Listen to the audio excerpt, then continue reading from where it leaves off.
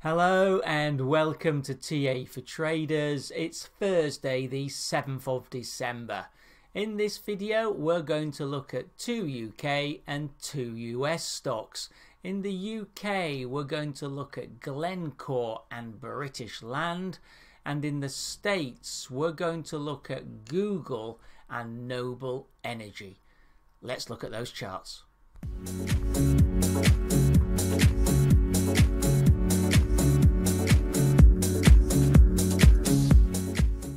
So starting with Glencore, and you can see that um, it broke into new high ground on this weekly. Um, this is a weekly chart, so each candle represents one week's trade, but um, there was a non-confirmation as you can see on the RSI as we went into the new high.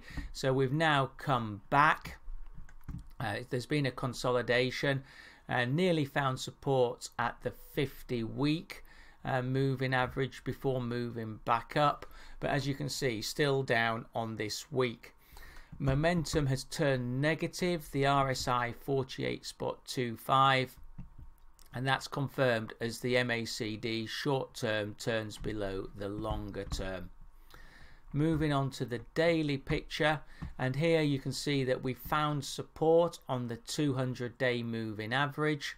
Uh, yesterday's formation was also in, in a, a, bullish engulfing picture uh, with the whole body encompassing the, the previous day's body, which is positive. So there's no surprise that uh, today we've got a green body as well. And really, one would expect a further move up, but we must look at that four hour because there's going to be resistance there. I know it before we even get there. Um, the moving averages, you can see 20 has tracked down below the 50. That was a bearish cross and uh, will cause resistance on the upside as we get up to the 350 level. RSI is uh, showing negative momentum, presently down at 33 spot 5. Perhaps a double bottom there. If we could bounce from there, it, that would be a bullish picture and which would indicate that we were going up to test the resistance between 350 360 but there's no such sign at the moment from the MACD which is solidly in a downtrend. Okay uh, moving on to the four hour and here as I said there is resistance um, straight away from the downtrend in 24 hour average. Uh, that's at 339 spot 54 and has actually caused resistance in this last uh, couple of hours. So be aware of that. We need to break through that if we want to then get up to towards the 350. But again, the RSI is indicative that we are base building. It's moving up, still showing negative momentum. It's only at 38.32, but is starting to create a short-term uptrend. Um, on the um, likewise on the MACD, the short term has got back above the longer term now, which is a positive sign. Although obviously they are well below zero, um, but there's start starting to show signs that we could have a little short term rally, which could take us up to the 350, 360 level. Moving on to British Land, uh, looking at the longer term. Uh, you can see we've broken above the uh, the resistance of the downtrend in 50 week and now it looks like we're, we're going up to the next resistance level which is seen at the 675 level. Got very positive momentum on this chart. RSI 62 spot 11 and the short-term MACD just moved back above zero um, confirming that upside momentum.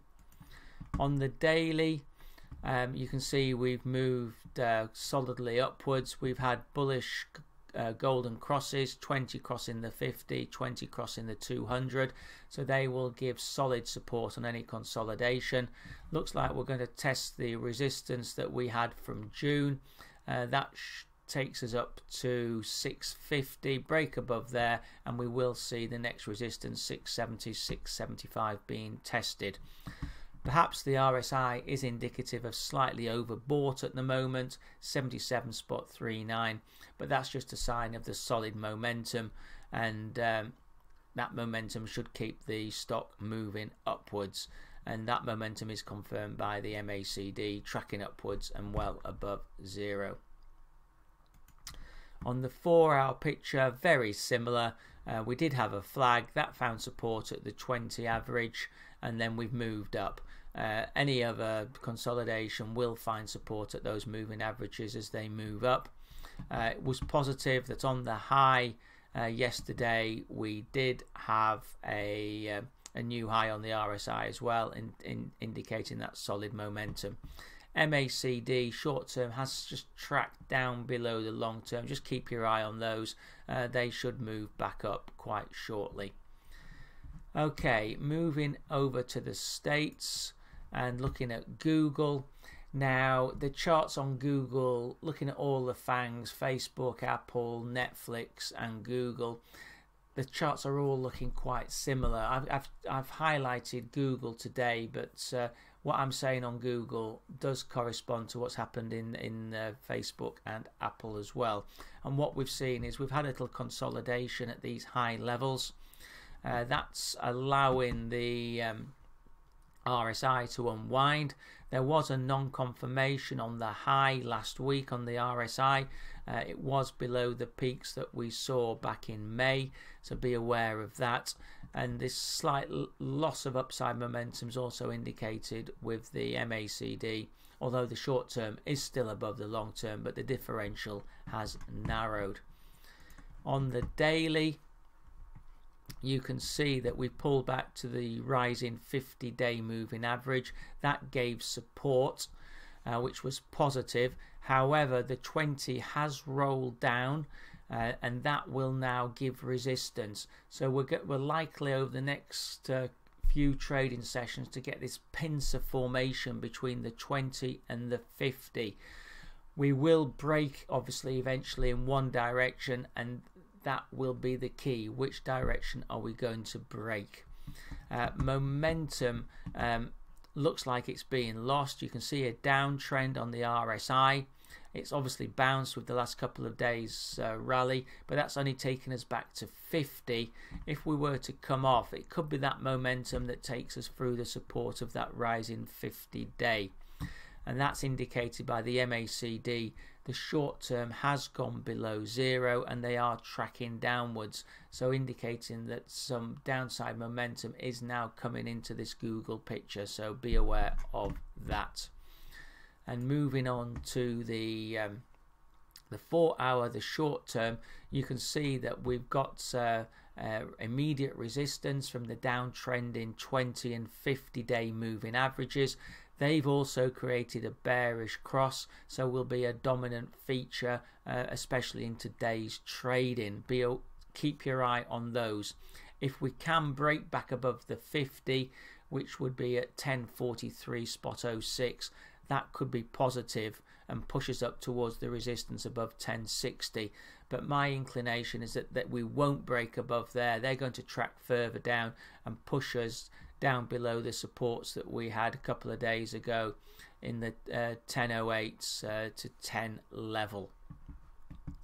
Momentum again uh, slightly negative, RSI 48, and those MACD are tracking uh, below zero as well.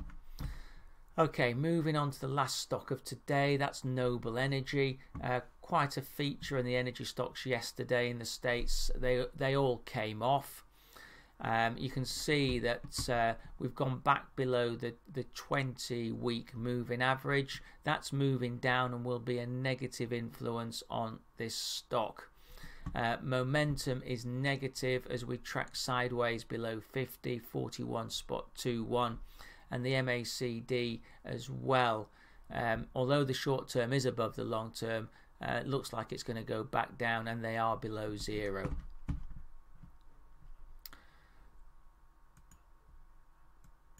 On the daily, uh, you can see that um, we did rally up to the moving averages. Um, they are tracking down and are negative influence. The 20 day is at uh, 26.51, um, just above spot, and was the negative influence yesterday. You can see we've got these supports around 25.40 um, but the momentum is turning negative. The RSI has gone back below 50, 41.93. So one would expect these supports to be tested. And again, the, the MACD are trading down below zero. Short term is above the long term, but um, it, just another down day and that will switch round. And finally, looking at the uh, the four hour picture, again, we're tracking below the moving averages. Uh, they're moving down, including the 200.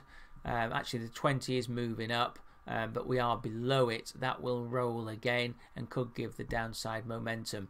Any consolidation here would create actually a head and shoulder. Be aware of that, which would be a bearish formation. So if we're going to have a rally, it needs to be quick and it needs to get us above the 27 level in the short term to stop that uh, potential head and shoulder. RSI again showing negative momentum 41.56 and the MACD are down below zero again.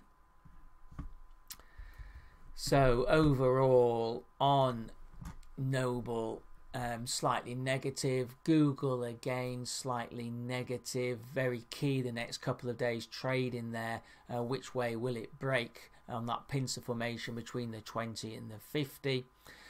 Glencore we saw is having a short term bounce. Um, should take it up to the resistance level that I indicated and on British land that looks okay.